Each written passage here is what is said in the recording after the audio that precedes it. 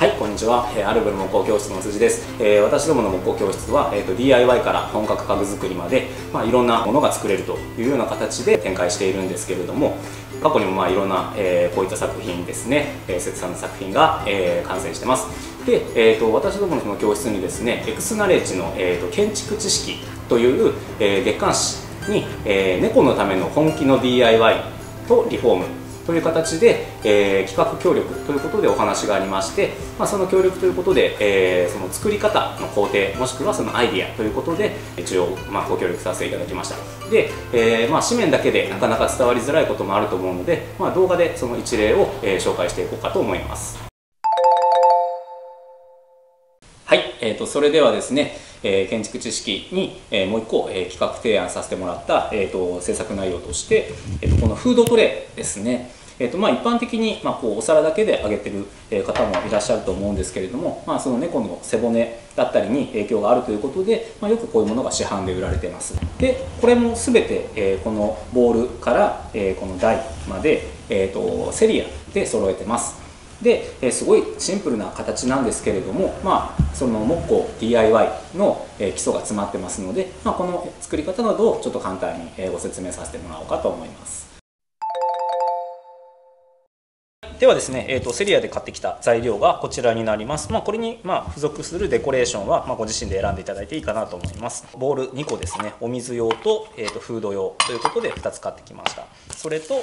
えー桐板焼き目付き 45×15 センチですねこれ1枚で取ろうかなと思います、まあ、お使いのこのフードトレイによって、えーと、ボールなどによってサイズを、え決めてもらったらいいかと思います2枚必要になる場合もあると思います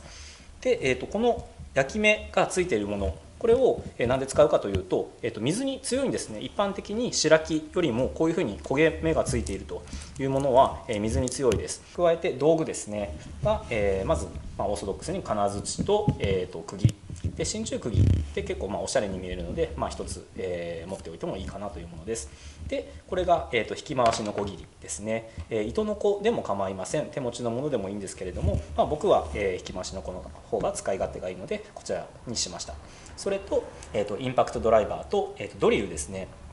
ドリルドライバーでも構いません。でこの穴を開ける用のビットが1つあるといいと思います。はい。でそれと、えー、あとは接着剤。これで、えー、組んでいこうと思います。でどういうふうに切るかというとまあですね、えっと、この板に関してはちょっとここがその焼き目をつけた時に凸凹ができています。で本来だったら綺麗に切れている板だったらこっちを元からある平面を本体の方にこう足としてつけてあげたいんですけれども今回はまちょっとこう凸凹しているのでこの切り口を直接こういうふうにつけてやるような形にしようと思います。これはまちょっと DIY の一つのコツなんですけれども初めから、え、と出ている平面をいかに、え、利用するかっていうのは、え、と一つのコツとして考えておいてください。はい。こういうふうにまず線を入れます。まあ差し金の使い方いろいろあります。こういうふうに合わせてもらってで5センチ。でも構いません。こういうふうに合わせてですね。はい。ではここから垂直な線を伸ばします。はい。で、まあ、もし、えーと、この黒いところに黒い鉛筆で書いてるので見づらいよという方はそういう時にはこういうふうにマスキングテープみたいなもので、えー、印をつけといてあげるというのも一つのやり方ですね。はい。じゃあ同じように反対側にも5センチ、えー、印をつけます。はい、ではですね、えーと、今回、えー、セリアで買ってきたボールが、えーと、これが2つ並ぶ形になるんですけれども、えーと、径を測ったら 133mm でした。なので、えー、まあ、どれぐらい入れ込んでやるかこの板に対して入れ込んでやるかなんですけども、まあ、安定した方がいいと思うのでこの径よりも若干小さめに開けてできるだけま奥まで入れてやろうかなというふうに考えてます、まあ、お使いのトレーに、えー、ボールなどに合わせて。はい。ではまこんな形になりますね。はい。それでは、えー、ノコギリでカットしていきたいと思います。でノコギリをまっすぐ切るためのジグっていうのを作ろうと思います。ジグというのは、えー、その、え、補助具ですね。ノコギリでまっすぐ切るための補助具。を、これから作ろうと思います。はい。それではですね、ジグがこういう形でできましたのでこれを切りたいところのラインにピタッと合わせてですねこういうふうに手で固定します。まあ、両面テープなどでつけてもらっても大丈夫です。はい。そしたら、えー、とこのノコ筋をまずつけてやるんですけれどもちょっとこういう形でですねあの軽く握ってまずは鉛筆の線をノコギリの線に変えてやりましょう。こういう形ででノコギリというのは傷を好んで、えー、進んでいってくれますのでまずはこういうふうに簡単にノコギリで線をつけてから徐々に斜めにしていってこういうふうに切っていきます。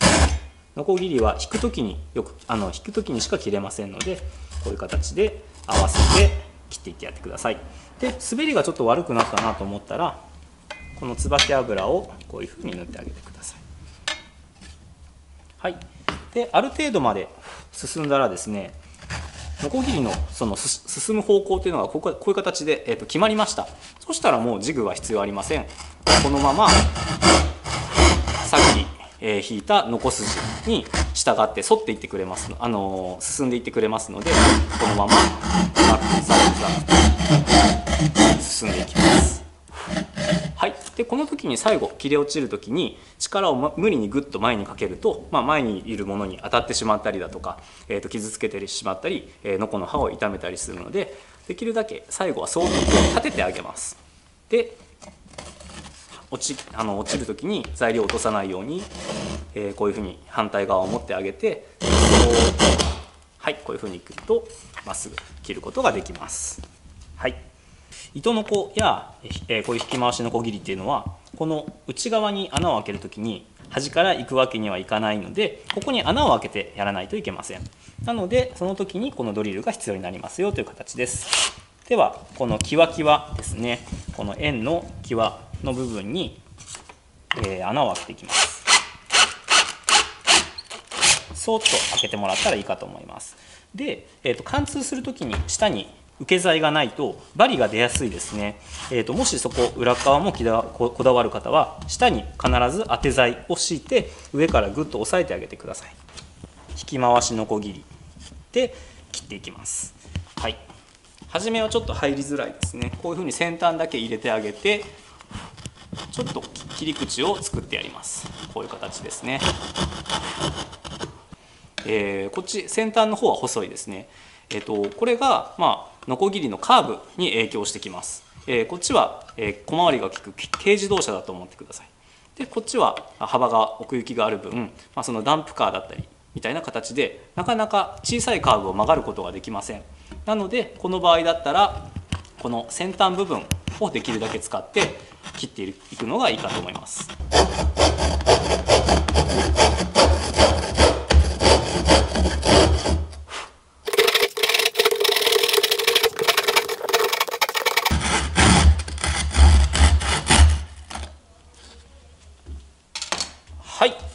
ではこういう形で、えーと、くり抜くことができました、まあ、こういう形で、えー、入るようになりました。はい。ではですね、えー、足の、えー、今、まあ、上手に切れたので切ったこの切り口の部分ですね。こちらにボンドをつけてあげます。瞬間接着剤でも、まあ、問題はないとは思うんですけれども、まあ、ボンドの方がより強力に、えー、ついてくれると思います。はい、はい。で、えー、今度はこれをこういう形で合わせてください。反対側にもつきました。でこの状態で、えーと、ちょっと10分ぐらい待ってあげてください。というのはこの状態でひっくり返してすぐに釘を打とうとするとまだボンドがあのしっかり働いてないので、えー、なかなかうまくいきません。ですので、えーと、ある程度固まったかなと乾ききる前に釘を打ってやるのが一番いい形になります。はい、でこういう形で、えーと、立ちましたら今度は釘を打っていきます。だいたい板厚の半分ぐらいですね。この板厚が 9mm なので、まあ、4.5mm から 5mm ぐらいのところに打っていってあげます、えー、金槌はこの丸い面と平らな面があります。まずは平らな面で打っていってやります。で金槌の使い方なんですけれどもえーとですね、これ、えー、っすぐ、まあ、包丁を、え、こういうふうに、え、持つようにしっかり持ってあげてで肘の高さが、えーと、一つのコツになってきます。で打点に対して肘が高いとこういう形で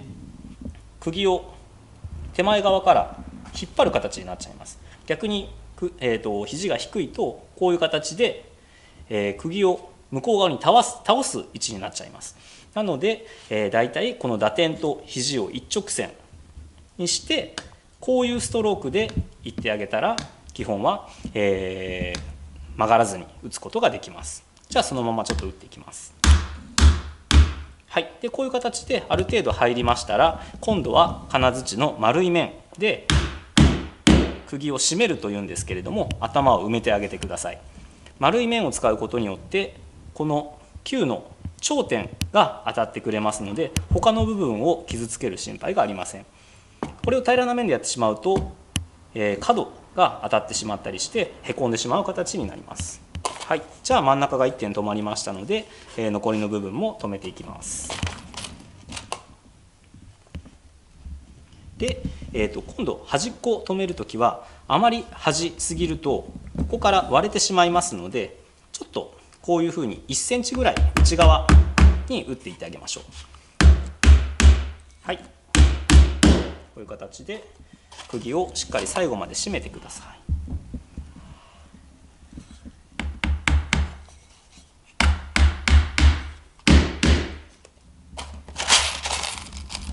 はい。5点ぐらいで止めてあげましょうかね。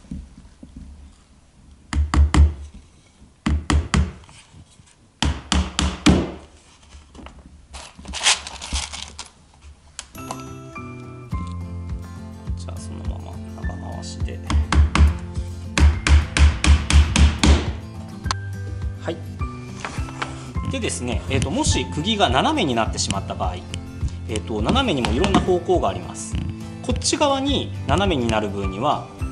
釘は、えーと、横から飛び出ることはないんですけれどもこういう形で斜めに入ってしまったら、えーと、釘が、えー、横から飛び出る形になります。ですので、まあ、こういう方向こっち側に曲がるんであれば問題ないという形です。で実際釘はまっすぐ打つよりも木の繊維に通直ではなく斜めに打った方がよく効いてくれます。なのでこっち方向にこういう形で斜めになるんであればもうそのまま進んでいってください。わざわざ直す必要はありません。これ今木工教室をしてて、まあ、いろんな方が、えーと、これを一生懸命直そうとして曲がった曲がったと言ってこう叩いて直そうとするんですけれどもそうじゃなくて釘は、えーと、その線に対して斜めに入った方がよく効いてくれます。これでいいのでこのまま叩いて締めてやるとより頑丈になります。まあ、あまりにも斜めになったらこういうふうに釘を立ててやって叩いてやったらきちんと入ってくれますね。で、えーと、こういうちっちゃい真鍮釘持って手でやるのが怖いという、方もいらっしゃると思います。そういう方はですねラジオペンチを使ってください、まあ、こういうふうに指で持とうとするとこの指の幅と釘の高さが大体同じぐらいです。叩くのが怖いという時にはこういうラジオペンチ、まあ、家にご家庭にある方もたくさんいらっしゃると思います。こういうもので支えておいて初めはこういうふうに叩いてあげて釘がしっかり立ったなと思ったらあとはこういうふうに進んでいく。はい。いう形になります。ではみ出たボンドは必ずこういうふうに、えー、きれいに拭き取ってあげてください。であとはこの切り落とした部分の塗装ですね。今回はまた黒い塗料を塗ってあげましょう。はい。ということでですね、えー、とこういう形でフードトレイが出来上がりました。100円ショップにある、えー、とデコレーションでここに何かいろいろ飾りをつけてもいいかなと思います。まあ他にもいろんな作り方あるんですけれども、まあ、今回は本当、えーと、木工の基礎、昔の図工の時間に習ったような形のやり方、えーと、お子さんと一緒に、えこういう工作っていうのを楽しんでみるのもありだと思います。はい、ということで、えー、すごい簡単な動画でしたけれども、えー、フードトレイの作り方ということでお届けしました。はい、ではご視聴ありがとうございました。